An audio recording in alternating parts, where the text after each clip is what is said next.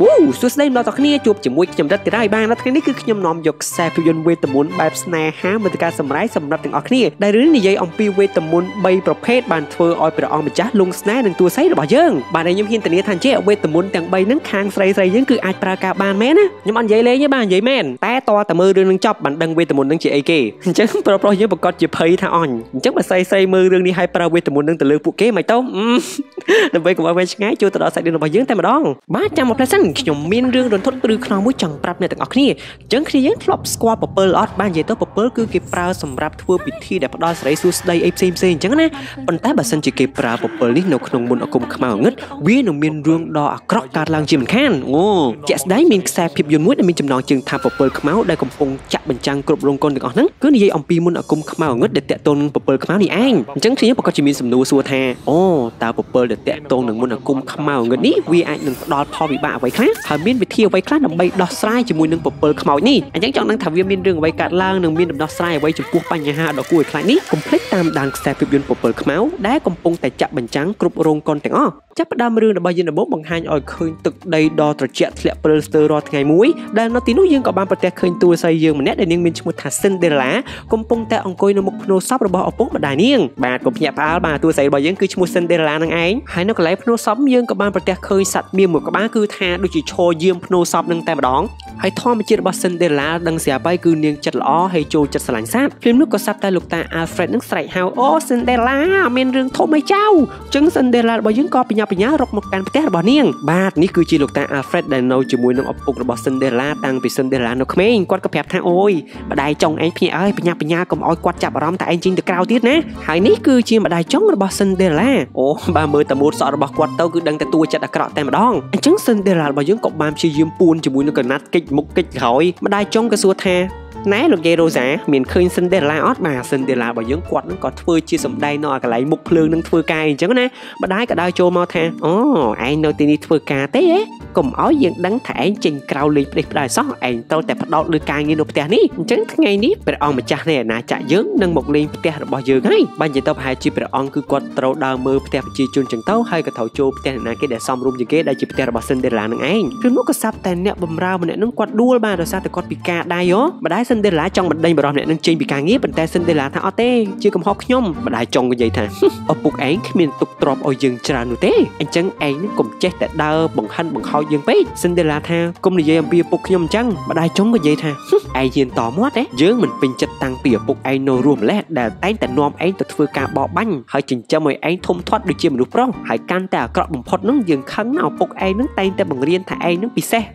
ឯងគ្មានចំណុចពិសេសអ្វីទេតោះទៅបំរើបងស្រីរបស់ឯងដែលជាដូរ៉ានឹងទៅអញ្ចឹងដូរ៉ានឹងគាត់និយាយថាអូអ្នកម្ដាយអើយធ្វើមិនត្រូវតែសុំព្រះអង្គឲ្យយើងចូលក្នុងពិធីជប់លៀងរបស់ស្ដេចឲ្យបានណាខ្ញុំចង់ចូលរួមណាចំណែកឯម្ដាយចុងក៏បានប្រទះឃើញក្បាលរបស់ Cinderella នឹងបានមានកំទេចឈើអញ្ចឹងគាត់ក៏ដឹងថា Cinderella លួចចេញទៅក្រៅទៀតហើយគាត់ក៏ថាឯងពិតជាធ្វើឲ្យយើងនឹងខកចិត្តណាអញ្ចឹងឯងមិនត្រូវបង្ហាញមុខនៅមុខព្រះអង្គឡើយទៅបន្ទប់ជូតសម្អាតទៅដូច្នេះ Cinderella របស់យើងបានមិនអាចតវ៉ាអ្វីបានទេនាងក៏បានចូលមកក្នុងបន្ទប់ដើម្បីបោះជូតតែយ៉ាងណាក៏ដោយនាងក៏មិនសូវឯកាដែរដោយសារតែនាងមានកណ្ដុរមួយក្បាលគឺជាមិត្តភ័ក្តិហើយសត្វទីតុយមួយក្បាលនឹងបាទតែងតែតាម Cinderella យើងដូចគ្នាបន្ទាប់ពីនោះ Cinderella របស់យើងក៏បានចុះមកលេងជាមួយនឹងសេះរបស់នាងលោកតា Alfred គាត់ក៏ដឹងថាចៅអើយ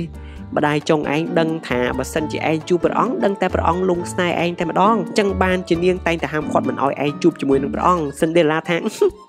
ព្រះអង្គណាទៅលងស្នេហ៍ខ្ញុំកើតហ៎លោកតា Alfred គាត់ក៏សើចគាត់ក៏ប្រាប់ថាយ៉ាងណាក៏ដោយណាព្រះអង្គនឹងម្ចាស់ស្ត្រីមកលេងភូមិយើងអញ្ចឹងឯងប្រហែលជាអាចមានពេលច្រើនម៉ោងដើម្បីកំសាន្តនៅខាងក្រៅអញ្ចឹងជាឱកាសល្អហើយបើឯងចង់ហោះហើរទៅក្រៅទៅទៅណាដូច្នេះ Cinderella របស់យើងក៏បាននាំសេះសតរបស់នាងធ្វើដំណើរជិះទៅខាងក្រៅយ៉ាងសប្បាយរីករាយឥឡូវនេះព្រះអង្គនឹងម្ចាស់ស្ត្រីបានមកដល់ភូមិហើយហើយផ្ទះដែលរៀងធំជាងគេគឺជាផ្ទះរបស់ Cinderella ដូច្នេះព្រះអង្គនឹងម្ចាស់ស្ត្រីប្រហែលជាចូលសោយអីតិចតួចនៅក្នុងផ្ទះនឹងចឹងទៅម្ដាយចុង Cinderella រួមជាមួយនឹងបងស្រីចុង Cinderella ក៏សម្លឹងមើលថាអូអូម្ចាស់ស្ត្រីនឹងព្រះអង្គអើយហើយឯណាព្រះអង្គម្ចាស់តូចស្ដេចគាត់ក៏តបទៅវិញថាឲ្យខ្ញុំសុំទោសផងព្រះអង្គម្ចាស់តូចគាត់ជាប់រវរៀនគាត់មកមិនបានទេ ចំពោះ Cinderella របស់យើងផ្ទាល់វិញបាទឥឡូវនេះនាងកំពុងតែរីករាយជាមួយនឹងជីវិតដ៏មានសេរីភាពរបស់នាងបាននិយាយទៅម្ដាយចង់របស់ Cinderella នោះអត់ចង់ឲ្យ Cinderella ចេញមកខាងក្រៅទេមូលហេតុគឺប្រហែលជាដោយសារតែ Cinderella គឺជាមនុស្សស្រីម្នាក់ដ៏គួរឲ្យតាក់ទាញចិត្តល្អរុះរាយរាក់ទាក់អញ្ចឹងប្រហែលជាម្ដាយចង់គាត់ខ្លាចច្រើនខ្លាចនេះខ្លាចនោះខ្លាចនាងមានគ្រួសារខ្លាចនាងមានសេរីភាពអត់បានគាត់នឹងគ្រប់គ្រងអញ្ចឹងណាឥឡូវនេះដើរលេងចុះដើរលេងឡើង Cinderella របស់យើងក៏បានប្រទះឃើញសេះមួយក្បាលហើយសេះនេះបាទគ្រាន់តែឃើញ Cinderella ភ្លាមគឺអត់ផ្អើលទេហើយនាងក៏ហាក់ដូចជាចេះនិយាយជាមួយសត្វមិនទេខ្ញុំយល់ដែរភ្លាមនោះ Cinderella ក៏បានប្រទះឃើញម្ចាស់សេះនឹងចង់បោបាញ់នាងពិតជាខឹងខ្លាំងមែនទែនអញ្ចឹងនាងក៏បានគប់ដុំទឹកកកយ៉ាងធំមួយចំក្បាលប៉ក់តែម្ដងហើយស្រែកស្ដីថាណែលោកបើសិនជាមិនចាំបាច់ទេលោកកុំធ្វើការបោបាញ់អត់ប្រយោជន៍បរិសម្នាក់នឹងគាត់ក៏អស់សំណើចហើយសួរថានេះជាព្រៃរបស់នាងឬ Cinderella ក៏តបទៅវិញថាវាមិនមែនជាព្រៃរបស់ខ្ញុំទេតែក៏មិនមែនជាព្រៃរបស់លោកដែរវាគឺជាព្រៃរបស់សត្វបរិសអាចក៏បានម្នាក់ហ្នឹងគាត់ក៏សើចហើយក៏និយាយថានាងពិតជាក្លាហានមែនហើយនាងអត់ស្គាល់ខ្ញុំជានរណាទេឬ Cinderella ក៏និយាយថាធ្វើម៉េចខ្ញុំស្គាល់បន្ទាប់មកសេះបរិសម្នាក់ហ្នឹងក៏ផ្អើលព្រោះដូចជាអត់ទាន់ស៊ាំជាមួយម្ចាស់មិនទេតែបរិសអាចក៏បានម្នាក់ហ្នឹងគាត់ចង់ហៅ Cinderella របស់យើងហ្នឹងប៉ុណ្ណឹងសេះ Cinderella ថាគ្មាននរណាលឿនជាងខ្ញុំនោះទេបើនិយាយពីការជិះសេះដូច្នេះពួកគេទាំងពីរក៏ប៉ុណ្ណឹងសេះជាមួយនឹងគ្នាមែន Cinderella របស់យើងគាត់រៀងលេងល្បិចដែរគាត់ក៏ជីសេះទៅមុនអញ្ចឹងហើយនឹងបរិសអាចកំបាំងនឹងក៏ជីសេះតាមពីក្រោយអញ្ចឹងពួកគេមិនដឹងជាស្អីទេបាទទៅទៅជួបគ្នាដំបូងសោះដូចជាសបាយជាមួយនឹងគ្នាប៉ុណ្ណឹងជាមួយគ្នាអញ្ចឹងទៅតែប៉ុណ្ណឹងចុះប៉ុណ្ណឹងឡើងបរិសអាចកំបាំងនឹងក៏សាប់តែជីបេះធ្លាក់ជ្រោះ Cinderella របស់យើងនឹងនាងក៏ខ្វាត់តន់បន្ទាប់មកនឹងសេះនឹងនៅតែផ្អើលអញ្ចឹង Cinderella ចុះមកក៏បានសម្រួលអារម្មណ៍ឲ្យសេះរបស់បរិសអ្នកនឹងអញ្ចឹងណាហើយប្រាប់បរិសអ្នកនឹងថាលោកមិនត្រូវចាត់ទុកសេះគឺជាខ្ញុំបម្រើរបស់លោកទេលោកត្រូវធ្វើយ៉ាងណាឲ្យសេះនឹងមានអារម្មណ៍ថាលោកនឹងវាគឺជាក្រុមជាមួយនឹងគ្នានោះទៅលោកអាចគ្រប់គ្រងសេះបានយ៉ាងល្អអេនិយាយចេញមកគឺ Cinderella មានជំនាញតែម្ដងណាបាទដោយសារតែនាងតែងតែចេញមកបបបាញ់ជាមួយឪពុកនាងតាំងពីក្មេងហ៎ព្រិនមកក៏សាប់តែមានទាហានព្រាជវាំងពីរនាក់នឹងបានមកដល់ហើយក៏ស្រែកហៅព្រាជបុត្រដូច្នេះបាទបរិសអាចកំបាំងនេះគឺជាព្រាជបុត្របាទទាហានពីរនាក់នេះគឺជាអ្នកការពារព្រះអង្គផងហើយក៏ប្រៀបដូចជាមិត្តភក្តិរបស់ព្រាជបុត្រនឹងផងដែរហើយពួកគេក៏ភ្ញាក់ផ្អើលមិននឹកស្មានថាព្រះអង្គនឹងបាទឲ្យមនុស្សស្រីបរិញ្ញាជីសេះអីអញ្ចឹងណាចំពោះ Cinderella បន្ទាប់ពីដឹងថាបរិសដែលនាងស្ដីឲ្យនឹងគឺជាព្រាជបុត្រនាងក៏មានអារម្មណ៍ថាភាំងហើយព្រាជបុត្រផ្ទាល់នឹងគាត់ក៏ហាក់ដូចជាមានអារម្មណ៍ថាអៀនគ្នារបស់គាត់ដែរដោយសារតែគាត់នឹងឲ្យមនុស្សស្រីបង្រៀនហាត់សេះអីចឹងទៅតែយ៉ាងណាក៏ដោយមុននឹងគាត់ចាក់ចេញទៅគាត់ក៏ថាខ្ញុំសង្ឃឹមថាខ្ញុំនឹងជួបនាងទៀតនៅពេលក្រោយប៉ុន្តែ Cinderella របស់យើងហាក់ដូចជាលងស្នេហ៍ជាមួយនឹងព្រះរាជបុត្រមុនពេលដែលនាងដឹងថាបរិសម្នាក់នេះជាព្រះរាជបុត្រទៅទៀតឥឡូវត្រឡប់មកដល់ផ្ទះវិញ Cinderella ក៏បានប្រទះឃើញម្ដាយចុងរួមជាមួយនឹងបងស្រីចុងរបស់ខ្លួននឹងលាព្រះបិតានិងព្រះបិតារបស់ព្រះរាជបុត្រខ្លួនហើយម្ដាយចុងរបស់ Cinderella នឹងក៏ធ្វើជាត្អូញត្អែថាអូម្ចាស់ស្ត្រីនឹងព្រះអង្គអើយខ្ញុំគឺជាមនុស្សស្រីទុនខ្សោយតែមានបំណងប្រាថ្នាច្រើនណាស់ដែលបំណងប្រាថ្នាធំជាងគេនឹងគឺបានចូលរួមក្នុងពិធីរំលែកនៅក្នុងព្រះរាជវាំងតែមិនដឹងថាបំណងប្រាថ្នាខ្ញុំនឹងបាននឹងមួយក៏អត់ទេបែរជាខ្ញុំស្លាប់នឹងមិនបានធ្វើរឿងនឹងផងអញ្ចឹងម្ចាស់ស្ត្រីគាត់មានអារម្មណ៍ថាអីបើសិនជាគាត់នឹងត្អូញត្អែដល់ថ្នាក់នឹងហើយនឹងម្ចាស់ស្ត្រីក៏បខំចិត្តឲ្យសម្បត្តិមួយនឹងចូលមកកាន់ពិធីរំលែកនៅក្នុងព្រះរាជវាំងដែរទៅតែគាត់ឲ្យទាំងបខំឯណាចំពោះព្រះរាជបុត្ររបស់យើងវិញបាទគាត់នឹងក៏បាននិយាយជាមួយនឹងសេះរបស់គាត់ដោយសារតែគាត់បាញ់មិញនឹងអត់បានដឹងឈ្មោះរបស់ Cinderella និយាយទៅគឺគាត់ពិបាកចិត្តដែរហ្មងមិនដឹងមូលហេតុអីព្រាមនោះក៏សាប់តែព្រះរាជគ្រូបានបង្ហាញខ្លួនបាទគាត់នឹងគឺជាអ្នកបង្រៀនព្រះរាជបុត្រយើងនៅរឿងផ្សេងផ្សេងមុននឹងខ្លាចទៅជាព្រះអង្គអញ្ចឹងណាព្រះរាជគ្រូក៏និយាយថាអូព្រះអង្គអើយបន្តិចទៀតនេះព្រះរាជវាំងចិត្តមានពិធីរំលែកហើយអញ្ចឹងព្រះអង្គត្រូវតែរៀនរំព្រោះនឹងមានកូនអ្នកមានអំណាចនិងកូនសិទ្ធិសិទ្ធិជាច្រើននឹងនឹងចូលរួមកម្មវិធីនេះព្រះរាជបុត្រក៏តទៅវិញថាខ្ញុំមិនចាអារម្មណ៍ទេខ្ញុំជិះសេះដើរបោកបាញ់បន្តទៀតហើយព្រះរាជគ្រូក៏ស្រែកថាអូព្រះរាជបុត្រអើយមិនកងមិនស្ដាប់ខ្ញុំអញ្ចឹងដឹងតែព្រះបិតាព្រះរាជបុត្រស្ដីខ្ញុំទៀតហើយលុះព្រឹកឡើងព្រះអង្គរួមជាមួយនឹងម្ចាស់ស្ត្រីនឹងបាទគាត់នឹងឡើងមកសោយមហូបអាហារពីព្រលឹម ប៉ុន្តែបុត្ររបស់ពួកគាត់នឹងទៅតែភ្ញាក់អញ្ចឹងព្រះអង្គនឹងក៏បានសួរព្រះរាជបុត្រគាត់ថាណែបុត្រមានបានត្រៀមខ្លួនសម្រាប់ពិធីជប់លៀងរាំក្នុងព្រះរាជវាំងយើងឬអត់បុត្រព្រះរាជបុត្រក៏តបទៅវិញថាខ្ញុំដូចជាមិនចាប់អារម្មណ៍ពិធីនេះទេព្រះបិតាអញ្ចឹងហើយនឹងព្រះមេដានឹងគាត់ក៏សើចតែព្រះអង្គគាត់ខឹងគាត់ថាមិនក៏អូនសើចអញ្ចឹងព្រះមហាសីបន្ទាប់ពីនោះព្រះអង្គរបស់យើងនឹងគាត់ក៏បានបង្ហាញចិញ្ចៀនមួយនឹងឲ្យបុត្ររបស់គាត់មើលដោយគាត់និយាយថា ក្នុងពិធីជប់លៀងនេះព្រះបិតាបានអញ្ជើញកូនក្រមុំគ្រប់ផ្ទះទាំងអស់មកចូលរួមសិតតែអ្នកមានអំណាចនិងអ្នករកស៊ីសទ្ធិផ្សេងផ្សេងអញ្ចឹងបុត្រត្រូវតែរើសឲ្យបានម្នាក់ព្រះរាជបុត្រក៏តបទៅវិញថាខ្ញុំមិនចាប់អារម្មណ៍កូនអ្នកមានដែលឪពុកម្ដាយរបស់ពួកគេទម្រើសគេនោះឡើយព្រះអង្គក៏វាយតុកមកទំហឹងនិយាយថាបុត្រនៅក្រោមការគ្រប់គ្រងព្រះបិតាអញ្ចឹងបុត្រត្រូវតែស្ដាប់ព្រះបិតាបើបុត្រមិនព្រមជ្រើសរើសម្នាក់ស្រីណានៅក្នុងពិធីជប់លៀងនៅពេលខាងមុខនោះទេព្រះបិតានឹងជាអ្នករើសឲ្យបុត្រអូអញ្ចឹងគឺអត់ជំរឿសទេព្រះអង្គទូចរបស់យើងចំពោះម្ដាយចុងរបស់ Cinderella វិញបាទបន្ទាប់ពីទទួលបានសម្បត្តិចូលក្នុងពិធីជប់លៀងនឹងគាត់ឥឡូវនេះកំពុងតែរើសរោបឲ្យកូនស្រីរបស់គាត់ប៉ុន្តែមើលទៅកូនរបស់គាត់នឹងហាក់ដូចជារើសមិនត្រូវចិត្តសោះរោបខ្លះគាត់ថាដូចជាមឹកដូចគំនរកៅអូមកកើតទេនិយាយទៅគឺអាក្រក់គ្រប់រោបទាំងអស់តែម្ដងអញ្ចឹងកូនស្រីនឹងក៏ស្រែកថាម៉ែថែងគេមានអ្នក stylist ហ៎ម៉ែបញ្ជួលគេមកឲ្យខ្ញុំរើសខ្លួនឯងអញ្ចឹងខ្ញុំរើសមិនត្រូវអញ្ចឹងម្ដាយចុងក៏ថាអូសិនដេឡាចូលមកនេះភ្លាម ឯងទៅប្រាប់លោកតា Alfred ឲ្យទៅស្វែងរកអ្នកធ្វើសក់និងអ្នកកាត់សម្លៀកបំពាក់អស្ចារ្យប្រចាំភូមិមកយកមករៀបចំឲ្យកូនស្រីរបស់យើងចំពោះលោកតា Alfred បានមុននឹងគាត់ទៅយកអ្នកកាត់សម្លៀកបំពាក់និងអ្នកធ្វើសក់គាត់នឹងក៏បានសួរ Cinderella ថាអូ Cinderella តើចៅចង់បានអីជាកាដូ ចាំតាទិញផ្ញើសិនដេឡាកថាខ្ញុំចង់បានរ៉ូបដ៏ស្រស់ស្អាតមួយប៉ុន្តែលោកតាគាត់ធ្វើមុខស្មើដោយសារតែគាត់ជាអ្នកបម្រើគេដែរគ្មានសមត្ថភាពទិញផ្ញើឲ្យនោះទេអញ្ចឹងសិនដេឡាក៏ថាខ្ញុំនិយាយលេងទេលោកតាអីក៏បានដែរឲ្យតែលោកតាយកមកផ្ញើខ្ញុំចំពោះពរិជ្ជបុត្រតូចរបស់យើងដែលនៅដូចជាក្មេងនេះវិញបាទឥឡូវនេះគាត់នឹងកំពុងតែត្រូវបានពរិជ្ជគ្រូនឹងបង្ហាត់រាំអញ្ចឹងអ្នកការពាររបស់ពរិជ្ជបុត្រពីរនាក់នេះបាទគាត់នឹងដើរតួជាស្រីជួលទីប្រុសរាំឲ្យមើលអញ្ចឹងណារាំចុះរាំឡើងមើលទៅពួកគេទាំងពីរហ្នឹងដូចជាចង់ស្រឡាញ់គ្នាមិនទេពរិជ្ជគ្រូគាត់ក៏សប្បាយចិត្តសាច់ចុះសាច់ឡើងពរិជ្ជបុត្ររបស់យើងក៏បានរត់លួចចេញអញ្ចឹងអ្នកការពារពីរនាក់នេះក៏ធ្វើជាមករំជាមួយព្រះរាជគ្រូព្រះរាជគ្រូក៏សប្បាយរំដែរទៅរំភ្លេចខ្លួនពួកគេទាំងពីរនាក់ក៏រត់ចោលគាត់ទៀត មិនទេបាទអញ្ចឹងគឺព្រះរាជបុត្ររបស់យើងនឹងគឺគាត់មកដើរបោបាញ់អត់ប្រយោជន៍ទៀតហើយដូច្នេះគាត់នឹងក៏បានបាញ់សម្បុកសัตว์មួយនឹងបាទធ្លាក់មកចំលោកតា Alfred ប៉ុន្តែចម្លែកអ្វីនៅក្នុងសម្បុកសัตว์ទាំងនេះទាំងអស់គ្នាវាក៏មានក្រប Alcon នឹងដ៏ស្រស់ស្អាតមាន3គ្រាប់ណាដូច្នេះគាត់ក៏គិតថាគាត់នឹងយកក្រប Alcon 3គ្រាប់នេះធ្វើជាកាដូឲ្យ Cinderella ហើយសัตว์នាមដែលតែងតែនៅក្បែរ Cinderella ដូចជាអ្នករៀបចំរឿងនឹងឲ្យអីមិនដឹងទេបន្តមកទៀតលោកតា Alfred ក៏បាននាំអ្នកធ្វើសក់នាំអ្នកកាត់ស្លៀកពាក់នឹងមកដល់ផ្ទះរបស់ Cinderella ហើយប៉ុន្តែមួយទៅពួកគេដូចជា ាមិនចូលចិត្តភូមិនឹងអមិនទេដើរទៅណាក៏សិតតែអាចឆ្កែអាចសัตว์អញ្ចឹងណាពេលដែលចូលមកដល់ជាងរបស់យើងគាត់ក៏ថាកូនរបស់អ្នកស្រីត្រូវប្រើឡាទិកអាស៊ីតសម្រាប់បកស្បែកបន្តិចដូរម៉ូតសក់បន្តិចដូរសម្លៀកបំពាក់បន្តិចនិយាយទៅដូរទាំងអស់តែម្ដងប៉ុន្តែមិនដឹងជាហេតុអ្វីលោកជាងនឹងគាត់ក៏បាននិយាយថា ម្នាក់ស្រីនេះដូចជាប៉ះពាល់ភ្នែកខ្ញុំខ្លាំងមែនទែនបាទថាឲ្យ Cinderella អញ្ចឹងចំពោះលោកតា Alfred វិញបាទគាត់នឹងក៏បានយកអាក្រប Alcon 3គ្រាប់នឹងមកឲ្យ Cinderella ធ្វើជាកាដូ Cinderella ឲ្យតែគេឲ្យស្អីក៏នាងសប្បាយចិត្តដែរប៉ុន្តែម្ដាយក៏សួរថាហឹមកាដូអីគេហ្នឹង Cinderella ក៏លាក់តែម្ដាយក៏បង្ខំថាបង្ហាញឲ្យយើងមើលភ្លាមហើយលោកតា Alfred មិនមែនចេះតែយកកាដូមកឲ្យ Cinderella ទេណាពេលដែល Cinderella បង្ហាញម្ដាយចុងរបស់ខ្លួនថាលោកតាឲ្យក្រប Alcon 3គ្រាប់មកនាងហ្នឹងគាត់ក៏សើច អូកាដូក្របអាខុនល្អសើចណាស់ចឹងឯងគាត់ក៏បកគោលក្របនឹងឲ្យសិនដេឡាវិញទៅ ចំណែកឯកដុលដែលធ្លាប់នៅជាមួយសិនដេឡាហ្នឹងក៏បានចេញមកទីហ្នឹងធ្វើឲ្យជាងធ្វើឲ្យម្ដាយចង់សិនដេឡាផ្អើលពេលនឹងទាំងអស់តែម្ដងអញ្ចឹងសិនដេឡាក៏ព្យាយាមចាប់កណ្ដុលរបស់នាងត្រឡប់មកបន្ទប់វិញហើយនាងក៏យកអាក្របអាល់ខុន3គ្រាប់ហ្នឹងយកមកមើលព្រាមនោះក៏សាប់តែចៃដនអីហ្នឹងគ្រាប់អាល់ខុនមួយគ្រាប់ក៏ជ្រុះតែពេលដែលវាជ្រុះវាប្រៀបដូចជាមានវេទមន្តដ៏អស្ចារ្យអ្វីមួយយ៉ាងអញ្ចឹងអញ្ចឹងសិនដេឡាក៏បានរើសគ្រាប់អាល់ខុនហ្នឹងយកមកមើលក៏ប្រទះឃើញកណាត់អ្វីមួយយ៉ាងចេញពីគ្រាប់នោះនាងក៏តោងចេញមកគ្រាន់តែតោងភ្លាមគ្រាប់អាល់ខុនហ្នឹងក៏បានបញ្ចេញវេទមន្តបំផ្លែងខ្លួនឲ្យសិនដេឡារបស់យើងខ្លាចទៅជាបរោះអ្នកបោបាញ់ចឹងនាងភ្ញាក់ផ្អើលខ្លាំងមែនទែននាងក៏បានសួរសត្វទីតុយរបស់នាងថាអញ តើខ្ញុំគួរតែធ្វើអីតាក់ទងនឹងរូបរាងបែបនេះសេះរបស់ Cinderella ក៏បន្លឺសម្លេងឡើងបាទអញ្ចឹង Cinderella របស់យើងនឹងដើរតួធ្វើជាបរិះបបាញ់វិញម្ដងឥឡូវនេះនាងបានធ្វើដំណើរមកក្នុងព្រៃយ៉ាងសប្បាយរីករាយហើយប៉ុន្តែនាងមិនដឹងថាត្រូវទៅណាដូច្នេះនាងក៏បណ្ដោយឲ្យសេះរបស់នាងជាអ្នកជូនទៅហើយចៃដនអីទៀតនឹងបាទសេះរបស់ Cinderella នឹងក៏បាននាំនាងទៅជួបជាមួយនឹងសេះរបស់ព្រាជបុត្រអញ្ចឹងនាងក៏បានមកអែលសេះព្រាជបុត្រនឹងអញ្ចឹងទៅទៅហ៊ានការពារព្រាជបុត្រនឹងក៏ថាណាឯជាអ្នកលួចសេះឬបាទតើតើគាត់សម្លឹងមើលទៅក៏ថាអូមិនមែនទេលោកគឺជាអ្នកបោកបាញ់តើបាទព្រោះឯសម្លៀកបំពាក់របស់ Cinderella បន្លំខ្លួនធ្វើប្រុសនេះ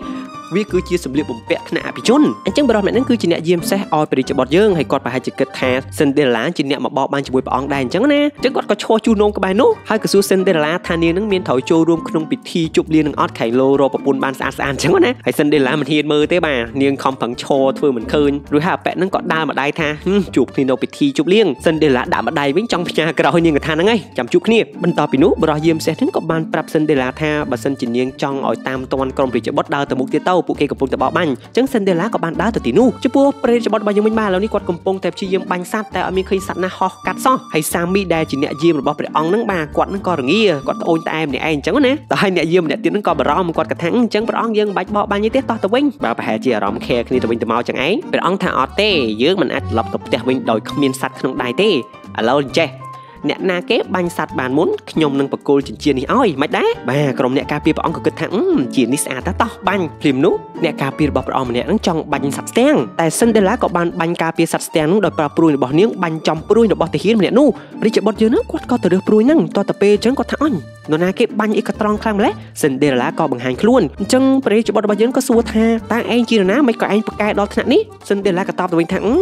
ព្រះអង្គអត់ចាំខ្ញុំជានរណាទេយើងធ្លាប់ជួបគ្នាពីមុនមកព្រាមនោះក៏សាប់ តែមានបាក់សីមួយក្បាលហើកាត់នោះ Cinderella របស់យើងក៏បាញ់ត្រូវទៀតអញ្ចឹងវារឹតតែធ្វើឲ្យព្រះរាជបុត្ររបស់យើងភ្ញាក់ផ្អើលនឹងសមត្ថភាពរបស់ Cinderella ទ្រង់ក៏សួរថាតើឯងធ្វើយ៉ាងម៉េចបានជាឯងបាញ់ព្រួញល្អដល់ថ្នាក់នេះ Cinderella ក៏ប្រាប់ថា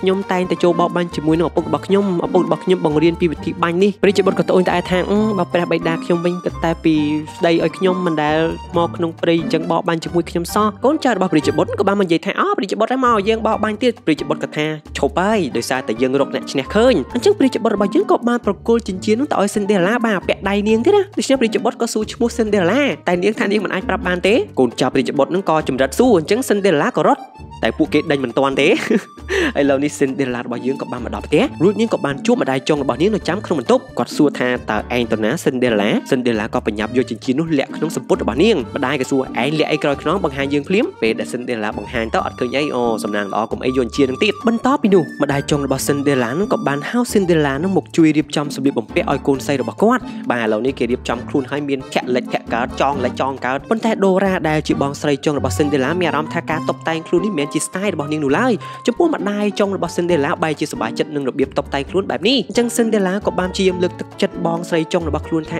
បងស៊ីអញ្ចឹងស្អាតណាស់បាច់អៀនខ្មាំបាច់ភ័យខ្លាចអីទេណាប៉ះចាំខ្ញុំបង្រៀនបងរាំអញ្ចឹងយើងឃើញថា Dora ដូចជារាំយ៉ាងសប្បាយរីករាយជាមួយ Cinderella ម្ដាយចុង Cinderella ក៏និយាយថា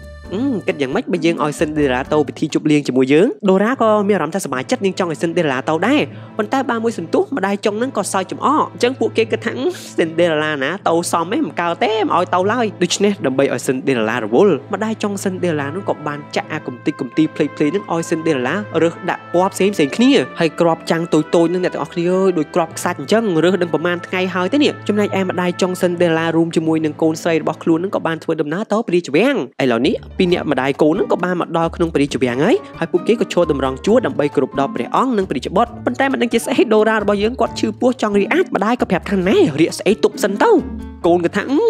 រៀកទឹកនឹងទុកមិនទៅអត់ទេឯងទៅតែត្បៀតឲ្យជាប់បាទអញ្ចឹងហើយឥឡូវនេះពួកគេទាំងពីរក៏មកគោរពដល់ព្រះអង្គរួមជាមួយព្រះរាជបុត្របន្តមកទៀតនឹងបាទឥឡូវនេះអស់ហើយអស់ភ្ញៀវចូលរួមហើយអញ្ចឹងក៏ដល់ពេលដែលព្រះរាជបុត្ររបស់យើងនឹងត្រូវរើសមនុស្សស្រីណាម្នាក់មករំជាមួយនឹងទ្រង់ម្ដាយចុងសិនដេរឡានឹងក៏បានរុញកូនរបស់គាត់នឹងមកមុខព្រះរាជបុត្រតែក៏ត្រូវបានមនុស្សស្រីម្នាក់ផ្សេងទៀតនឹងតបាក់ព្រះរាជបុត្រយកទៅរំជាមួយប៉ុន្តែមើលទៅម្នាក់ស្រីរោពពកាជូកនេះគឺថារំសាហាវខ្លាំងមែនទែនចាប់កវត្តព្រះរាជបុត្ររបស់យើងដូចជាកវត្តស្អីមិនដឹងទេចំពោះសិនដេរឡាផ្ទាល់នេះបាទដែលនាងមានចិត្តចង់ទៅពិធីរំគេដែរប៉ុន្តែអត់ហ៊ាននិយាយឥឡូវនេះក៏ត្រូវមករើសស្អីគេនេះឡើងម៉ត់ស្ញាញ់មិនដឹងថារើសមិនម៉ាហើយទេប៉ុន្តែការធ្វើអំពើល្អរាល់ថ្ងៃរបស់ Cinderella នឹងគឺបានជួយងៀងមានសัตว์ព្រាបយ៉ាងច្រើននឹងបាននាំគ្នាហោះចូលមកជួយរើស Cinderella អញ្ចឹងបន្ទាប់ពីរើសអាក្របនឹងអស់រួច Cinderella របស់យើងនាងក៏ចង់សាកអាក្របអាខុនទី2ចាំមើលថាតើវាមានវេទមន្តអីអត់ពេលដែល Cinderella របស់យើងបោះទៅលើដីទៅដូចជាអត់មានឃើញអីតែបានមួយសន្ទុះក្របនោះក៏ចាប់ផ្ដើមលោតខ្ញោតខ្ញោតតែម្ដងរួចហើយវាក៏បានបញ្ចេញផ្ទាំងកណាត់ពណ៌សដ៏ស្រស់ស្អាតរួមខ្លួន Cinderella ហើយវាក៏មានវេទមន្តផ្សេងទៀតបង្កើតស្បែកជើងដ៏ស្រស់ស្អាតឲ្យ Cinderella ដែរ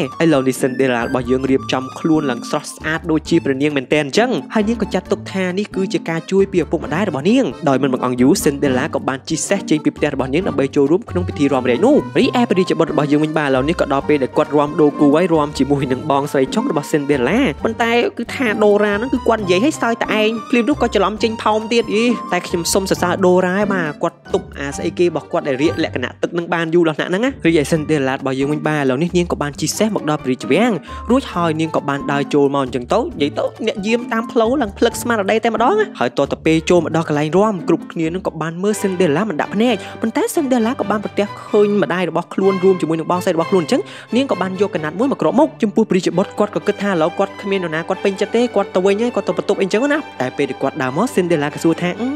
យើងជួបគ្នាម្ដងទៀតហើយហើយគ្រាន់តែព្រះរាជបុត្រឃើញមុខរបស់ Cinderella ពាក់ស្បៃនឹងភ្លាមគាត់ក៏ចាប់អារម្មណ៍នាងផ្លែតព្រះរាជបុត្រក៏សួរថាតើយើងធ្លាប់ជួបគ្នាមែនឬ Cinderella ថាធ្លាប់ដោយមិនបងអង្គយូព្រះរាជបុត្ររបស់យើងនឹងក៏បានសុំ Cinderella រួមជាមួយរីឯព្រះអង្គរួមជាមួយម្ចាស់ស្ត្រីអូសប្បាយចិត្តណាស់ក៏បានឲ្យភ្លេងលេងយ៉ាងរ៉ូមែនទិកអញ្ចឹងពេលដែលរួមជាមួយនឹង Cinderella ភ្លាមព្រះមេដារួមជាមួយនឹងព្រះបិតារបស់ព្រះរាជបុត្រនឹងក៏មើលឃើញថាបុត្ររបស់ខ្លួនលងស្នេហ៍ជាមួយនឹង Cinderella ហើយហើយព្រះមេដាគាត់ច្បាស់មែនទែនព្រោះគាត់ស្គាល់បុត្ររបស់គាត់ច្បាស់ហ៎អញ្ចឹងហើយពួកគេក៏រំលឹកដល់រឿងអតីតកាលចឹងទៅព្រះអង្គរួមជាមួយម្ចាស់ស្ត្រីក៏ចូលរួមរាំដែរអាក្នុងកំឡុងពេលរាំនោះរាជបុត្រនឹងក៏បានសួរ Cinderella ថាតើពួកគេជួបគ្នានៅណាខ្លះ Cinderella ក៏បានឲ្យប្រស្នាដល់រាជបុត្រដែលនាងនិយាយថាជួបគ្នាលើកទី1មុខប្រឡាក់ខ្ជុងហើយជួបគ្នាបានមួយផ្លែត លើកទី2ស្លៀកសម្លៀកបំពាក់ជាអ្នកបបាញ់ប៉ុន្តែមិនមែនជាអ្នកបបាញ់ហើយលើកទី3ជួបគ្នាពេលដែលខ្ញុំស្លៀករូបស្រស់ស្អាតបែបនេះព្រះជាបុត្រក៏បានសួរឈ្មោះរបស់ Cinderella ប៉ុន្តែម្ដាយចុងរបស់ Cinderella បានដើរសម្ដៅមករកនាង Cinderella ភ័យខ្លាំងពេកនាងក៏រត់រីឯព្រះជាបុត្រគិតថាប្រហែលជា Cinderella មិនចាប់អារម្មណ៍នឹងខ្លួនចំពោះព្រះបិតាក៏ប្រាប់ថាអត់ទេបុត្រ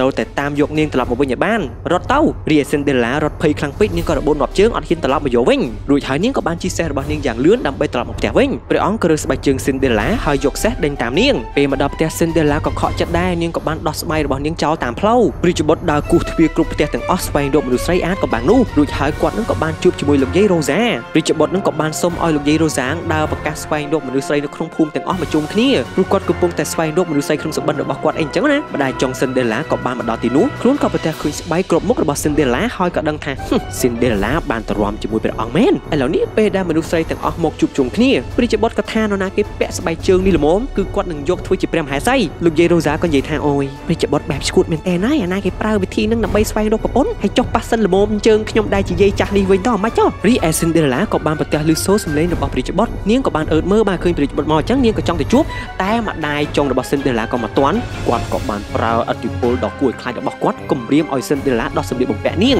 រីឯព្រះជាបុត្រនឹងបានដើរលោស្បែកជើងគ្រប់មនុស្សស្រីក្នុងភូមិហើយប៉ុន្តែគ្មាននរណាពាក់ត្រូវលោកតា Alfred ក៏និយាយថានៅមានម្នាក់ទៀតឈ្មោះ Cinderella អញ្ចឹងលោកតា Alfred ក៏បាននាំព្រះជាបុត្រមកបន្ទប់របស់ Cinderella តែម្ដាយចុង Cinderella បានចាប់ខ្លួនរបស់ Cinderella ចាក់ចេញពីទីនោះចំពោះព្រះជាបុត្រមកអត់ឃើញ Cinderella គាត់ក៏រករកទៀតទៅក៏ប្រទះឃើញចិញ្ចៀនរបស់គាត់អូ អញ្ចឹងគាត់ឆ្លើយប្រស្នាទាំង3ខរបស់ Cinderella បានបាត់បានពេលដែលរាំជាមួយគ្នាម្នាក់ស្រីប្រឡាក់ផេះម្នាក់ស្រីបន្លំខ្លួនធ្វើជាប្រុសអ្នកបបាញ់ហើយម្នាក់ស្រីដែលរាំជាមួយនឹងគាត់នឹងគឺជាមនុស្សតែមួយរីឯ Cinderella ក៏ត្រូវបានម្ដាយចុងរបស់ខ្លួននឹងឃុំឃាំងនៅបន្ទប់ក្រោមដីយ៉ាងជ្រៅរួចហើយគាត់ក៏បានបង្ខំឲ្យកូនស្រីរបស់គាត់នឹងពាក់សម្លៀកបំពាក់របស់ Cinderella ហើយអន់មុខចុះកុំនិយាយអីដាច់ខាតពីច្បុតឃើញសម្លៀកបំពាក់អញ្ចឹងក៏នឹកស្មាននោះគឺជាមនុស្សស្រីដែលរាំជាមួយនឹងទ្រង់គាត់នឹងក៏ដេញតាមពេលដែលដេញជួបជាមួយនឹងម្ដាយចុង Cinderella ម្ដាយចុង Cinderella ក៏និយាយថាមានកាយដែរព្រីច្បុតព្រីច្បុតក៏សប្បាយគាត់ថាតើគាត់នេះជាកូនរបស់អ្នកស្រីឬម្ដាយចុង Cinderella ក៏និយាយថាចាជាកូនរបស់ខ្ញុំតែអ្នកស្រីអាចឲ្យកូនរបស់អ្នកស្រីលោស្បែកជើងបានដែរទេម្ដាយចុង Cinderella គាត់ដឹងថាកូនស្រីគាត់លោទៅអត់ត្រូវគាត់ថាអត់ទេ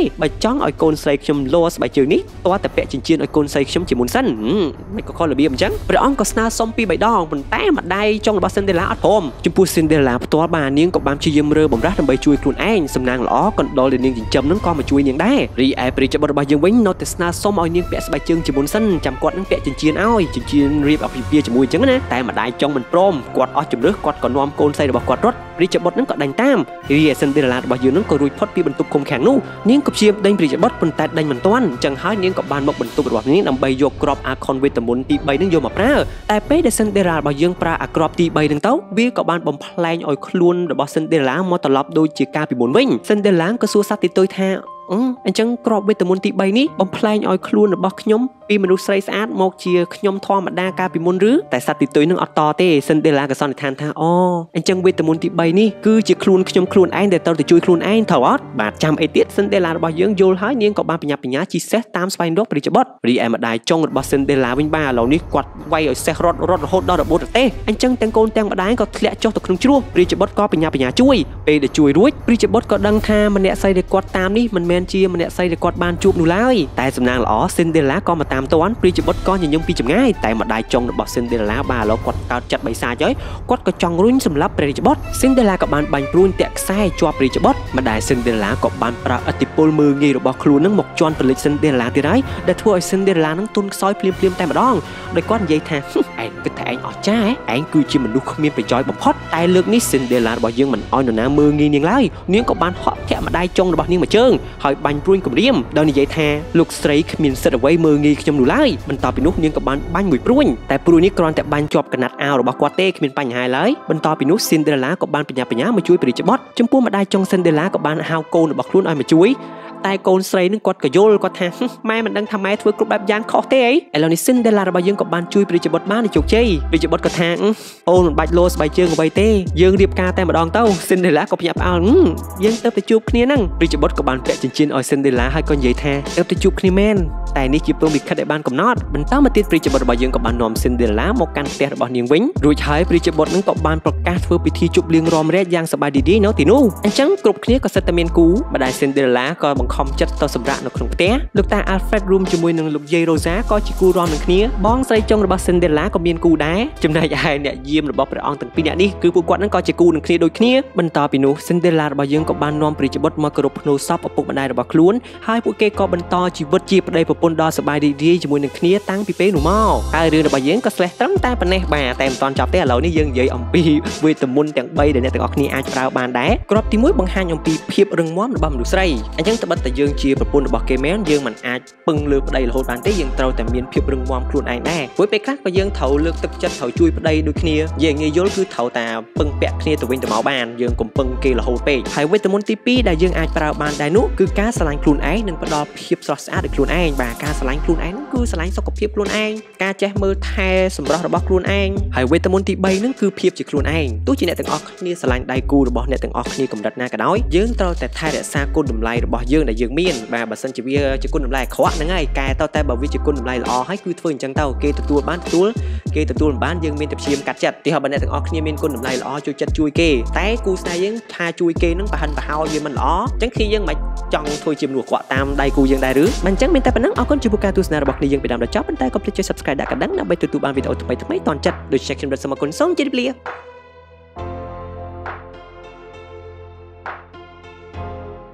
ហេសួស្តីម្ដងតាគ្នាជួបជាមួយខ្ញុំទៀតហើយអញ្ចឹងនៅថ្ងៃនេះគឺខ្ញុំចង់នាំយកខ្សែភាពយន្តបែបរន្ធត់និងមានអាចកំបាំងច្រើនមែនទែនមកធ្វើការនិយាយប្រាប់អ្នកទាំងអស់គ្នាអញ្ចឹងរឿងនេះគឺវាតាក់ទងនឹងពពិលបាទខ្ញុំចង់សួរសិនតើគ្នាស្គាល់ពពិលអត់និយាយទៅពពិលគឺគេប្រើច្រើនមែនទែនតែម្ដងនៅក្នុងពិធីរបស់ខ្មែរយើងមិនថាពិធីបុគ្គលការពិធីបួសនាគឬក៏មានជាពិធីចូលមលុបផងដែរហើយពពិលនឹងទៀតសោតនឹងគឺមានទម្រង់ដូចជាស្លឹកពោហើយក៏គេមានធ្វើជាទម្រង់រាងមូលផងដែរហើយវាមានដងសម្រាប់កាន់អញ្ចឹងណានិយាយទៅគឺវាមានក្បាច់ក្បូររចនាស្រស់ស្អាតខ្លាំងមែនទែនតែម្ដងហើយពពិលហ្នឹងគឺគេប្រើសម្រាប់អីគោលដៅចម្បងរបស់វាគឺប្រើសម្រាប់សេរីសួស្តីប៉ុន្តែគេក៏មានលេងជាខ្សែភាពយន្តមួយប្រាប់យើងថាចុះករណីបើសិនជាពពិលនឹងធ្លាក់ចូលទៅក្នុងអំពើអាគមអាក្រក់តើវានឹងមានរឿងអ្វីកើតឡើងអញ្ចឹងនៅក្នុងខ្សែភាពយន្តមួយដែលមានចំណងជើងថាពពិលខ្មៅនេះគឺនិយាយអំពីរឿងដ៏សាហាវព្រឺព្រួយមួយតាក់ទងនឹងគ្រួសារផ្លាស់ប្ដូរទីលំនៅថ្មីបាទបាទអញ្ចឹងរឿងដ៏គួរឲ្យខ្លាចនេះគឺគេចាក់បញ្ចាំងចាប់ពីពេលនេះតទៅហើយអានេះខ្ញុំគ្រាន់តែសង្ខេបខ្លីៗទេបើសាច់រឿងវាវិញប្រហែលជាមិនដឹងគួរឲ្យខ្លាចគួរឲ្យរន្ធត់អាចកំបាំងអ្ហ្មងទេឥឡូវយើងសាកទៅមើលឈុតខ្លីៗនៅក្នុង trailer ទីមើលថាតើវាគួរឲ្យខ្លាចនឹងអាចកំបាំងកម្រិតណាតើណោះអញ្ចឹងដំបងឡើយនឹងគូស្នេហ៍ប្តីប្រពន្ធមួយគាត់ទៅតែនៅក្នុងផ្ទះបុរាណខ្មែរដ៏ស្រស់ស្អាតមួយហើយស្ថានភាពមើលទៅវាយ៉ាងជាស្ងប់ស្ងាត់មានរុក្ខជាតិបៃតងស្រស់ស្អាតដែរហ្នឹងប៉ុន្តែគ្រាន់តែចាប់ផ្ដើមរស់នៅមិនបានប៉ុន្មានផងប្រពន្ធនឹងគាត់ក៏ចាប់ផ្ដើមមានអារម្មណ៍ថាឃើញអ្វីចម្លែកចម្លែកដំបងឡើយគាត់លឺសូរស្នូជើងជាមួយនឹងស្នូចង្វាក់អីបន្ទាប់ពីនោះបាទខ្មោចនឹងក៏បានលងបន្លាចចំចំមុខរបស់គាត់តែម្ដងអញ្ចឹងលងប៉ុណ្ណឹងគឺអត់តន់ចប់ទេហើយនៅថ្ងៃមួយនឹងបាទគាត់នឹងក៏បានស្វែងរកឃើញសភៅកំណត់ហេតុមួយតាក់ទងនឹងផ្ទះដ៏គួរឲ្យខ្លាចនេះដោយអ្នកសរសេរនឹងគឺនិយាយថាផ្ទះនេះគឺមានខ្មោចបន្ទាប់មកខ្មោចនឹងក៏ចាប់ផ្ដើមលងបន្លាចកូនស្រីម្ដងប៉ុន្តែគាត់មិនមែនលងបន្លាចដោយការធ្វើឲ្យខ្លាចទេគឺលងបន្លាចដោយការលេងជាមួយគឺរបៀបដូចជាចង់តាក់ទាញកូនស្រីនឹងឲ្យមិនដឹងទេអញ្ចឹងលេងពេលខ្លះហ្នឹងគឺដណ្ដើមតុក្កតាគ្នាជាមួយនឹងក្មេងហ្នឹងហើយសក់ធ្លាក់ចុះមកគួរឲ្យខ្លាចខ្លាំងមែនទែនហើយពេលខ្លះគាត់ក៏ប្រទះឃើញមានមនុស្សស្រីម្នាក់អង្គុយគូររូបជាមួយនឹងកូនរបស់គាត់ដូច្នេះអូយគាត់ដូចជាពិបាកក្នុងការទទួលយកខ្លាំងមែនទែនហើយនៅថ្ងៃមួយផ្សេងទៀតហ្នឹងគាត់ក៏ប្រទះឃើញខ្មោចហ្នឹងគឺអង្គុយលើប្តីរបស់គាត់សក់បាសគួរឲ្យខ្លាចមែនទែនហើយខ្ញុំសូមសរសើរបាទគាត់អាចទប់អារម្មណ៍បានអញ្ចឹងគាត់ក៏បានយករឿងដែលគាត់ជួបប្រទះទាំងប្រមាណនោះប្រាប់ប្តីរបស់គាត់ហើយអ្នកទាំងអស់នេះដឹងអត់អ្វីដែលប្តីរបស់គាត់និយាយគឺថា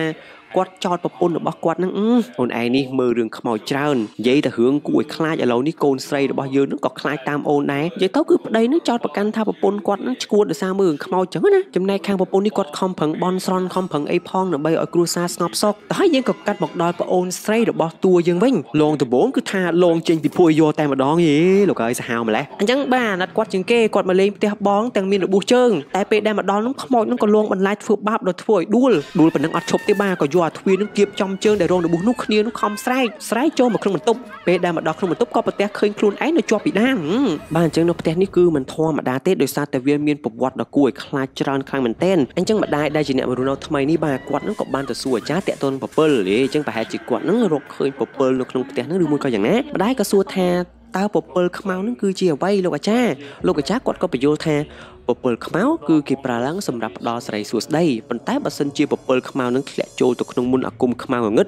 វានឹងធ្វើឲ្យមានរឿងធំកើតឡើងហើយរឿងនឹងមិនធម្មតាគឺជារឿងសាហាវទៀត អញ្ចឹងខ្មោចនឹងដូចជាមានគំនុំសងសឹកមិនទេវាក៏ចាប់ផ្ដើមលងបន្លាយដល់ម្ដាយនឹងកាន់តែខ្លាំងទៀតបាទដោយយកកំបិតយកមកចាក់អញ្ចឹងណាបន្លំខ្លួនធ្វើជាកូនហើយចាក់សម្លាប់ម្ដាយអញ្ចឹងវាធ្វើបាបវាធ្វើបោកម្ដាយនឹងខ្លាំងមែនទែនតែម្ដងចំណែកឯប្តីក៏ចាប់ផ្ដើមខ្មោចនឹងលងធ្វើបាបដូចគ្នាហើយនិយាយទៅវាលងប៉ុណ្ណឹងមិនគ្រប់គ្រាន់ទេវាក៏បន្លំខ្លួនធ្វើជាអ្នកគ្រូពេទ្យលងបន្តទៀតអញ្ចឹងក្មេងស្រីម្នាក់នេះក៏បានស្រែកសុំឲ្យម្ដាយជួយផងប៉ុន្តែម្ដាយគាត់គិតថាប្រហែលជាក្មេងស្រីនឹងជាខ្មោចបន្លំខ្លួនទេអញ្ចឹងគាត់នឹងក៏ចង់បញ្ចប់ជីវិតខ្មោចនឹងអញ្ចឹងក្មេងស្រីនឹងក៏ប្រែកាឡាទៅជាខ្មោចភ្លាមភ្លាមតែម្ដងអញ្ចឹងតើវានឹងមាននឹងអ្វីកើតឡើងទៀតទៅហើយគ្នាយើងប្រកាសជាមានសំណួរសួរពេញខ្លួននេះថាតើមូលហេតុអ្វីបានជាផ្ទះនឹងមានពលឹងខ្មោចមានជាប់ច្រវាក់លងបន្លាយធ្វើបាបនិងសម្លាប់អីណាទៀតបាទចង់ដឹងថាយ៉ាងម៉េចយ៉ាងណាហ្នឹងអ្នកទាំងអស់គ្នាអាចទៅទស្សនាខ្សែភាពយន្តនេះនៅក្នុងរោងកុនបានដែលគេចាប់ផ្ដើមចាក់បញ្ចាំងតាំងពីថ្ងៃ16មិថុនាមកម្លេះបាទអញ្ចឹងចាំមិនទៀតតោះទៅទស្សនាខ្សែភាពយន្តនៅគួរឲ្យខ្លាចនេះទាំងអស់គ្នា